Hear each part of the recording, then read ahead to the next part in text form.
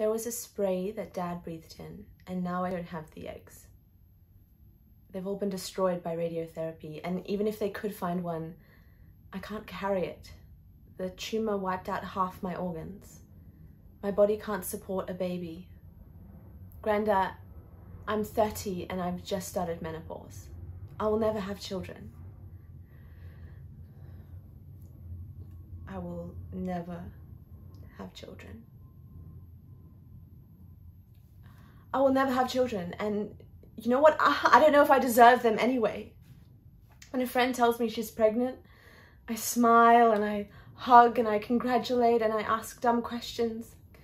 How far along are you? Have you thought of any names yet? What are you craving?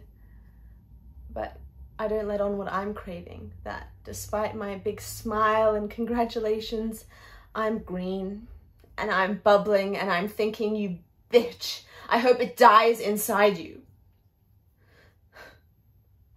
And when a pregnant woman walks past me on the street, I want to punch her in the belly and walk away when she falls to the ground and just leave her there to deal with it. And when a father tells me he's having his third child, I want to squeeze him dry of any seed he has left.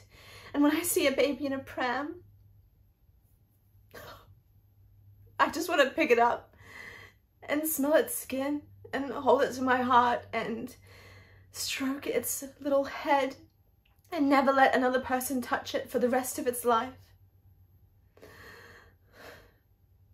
Granda, is that normal? I don't know. I never will because the seed stops here